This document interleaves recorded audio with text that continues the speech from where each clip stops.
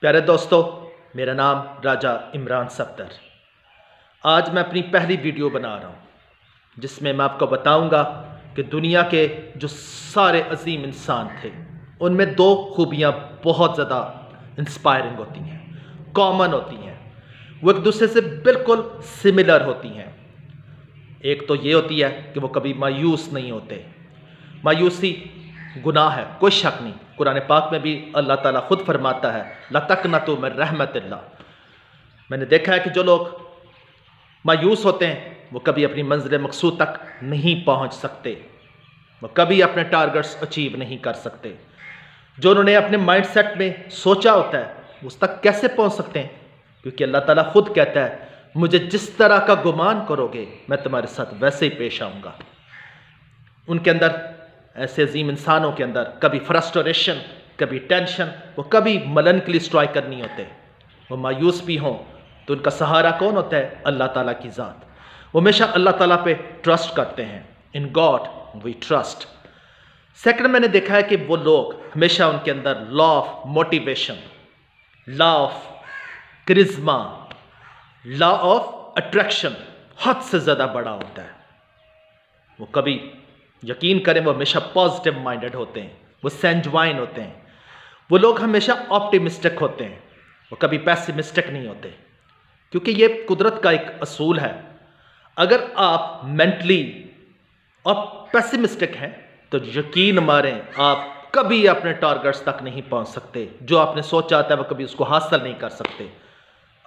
اگر ہم ہسٹری پر نظر تھوڑائیں دنیا کی ساری ہسٹری میں دیکھا گیا ہے کہ حضرت محمد صلی اللہ علیہ وسلم دنیا کے سب سے عظیم انسان گزرے، کوئی شک نہیں۔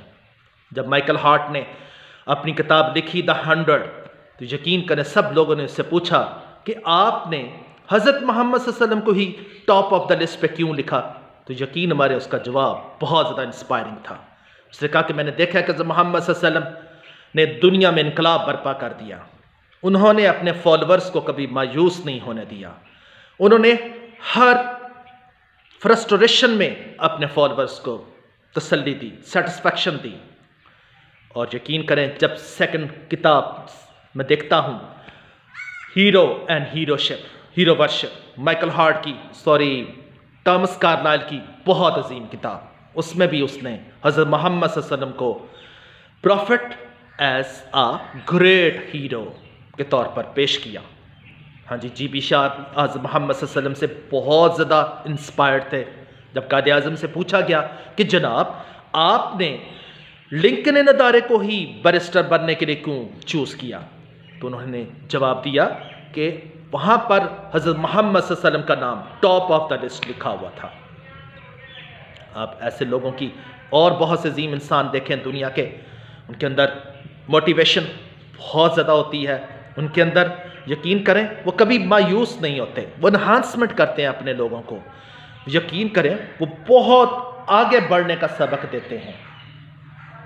میں تو جب دیکھتا ہوں نا کہ ایک چھوٹا سا بچہ صرف تین ماہ سکول جانے والا سٹوڈنٹ ٹامس ایلوا ایڈیسن واہ، اس کے سکول کے ٹیچر نے، سکول کے ہیڈ ماسٹر نے اس کی ماں کو بلا کر رسٹیکیشن کا لیٹر دے دیا کہ جناب آپ کا بچہ بہت زیادہ شرارتی ہے، بہت زیادہ نوٹی ہے۔ یہ ہمارے بچوں کو سپوائل کر رہا ہے۔ تو وہی ٹامس ایلوا ایڈیسن کبھی مایوس نہیں ہوا۔ اس نے بہت محنت کی۔ اس نے یقین کریں، جب بلب کی ایجاد کی تو نائن نائن نائن یعنی کہنے کا مقصد نو سو نڑینوے دفعہ ناکام ہوا۔ تھاؤزنڈ ٹائم اس نے کہا eureka eureka I have found I have found کامیاب ہو گیا۔ اس کو کنگ آف دا سائنٹسٹ کا خطاب ملا۔ وہ ایک ہزار سے زیادہ اس نے ایجادات کر لیں ہاں جی جان آف اور کو دیکھ لیں۔ فرانس کی ایک بہت عظیم جنگجو عورت، جس نے ظالم طاقتوں کے خلاف بہت زیادہ جدوجہد کی اور آخر اس کو آگ میں ڈال دیا گیا۔ پھر بھی وہ مایوس نہیں ہوئی۔ پھر بھی وہ کبھی اس نے اپنے مشن سے پیچھے نہیں ہٹی۔ اس کو دھمکیاں الٹیمیٹمس دی گئیں۔ آپ لا آف موٹیویشن کو اٹھا کر دیکھ لیں۔ جن لوگوں کے اندر لا آف موٹیویشن بہت زیادہ ہوتا ہے، وہ کبھی مایوس نہیں ہوتے۔ وہ ہمیشہ کیا سوچتے ہیں؟ نہیں، وہ پازیٹیو سوچتے ہیں۔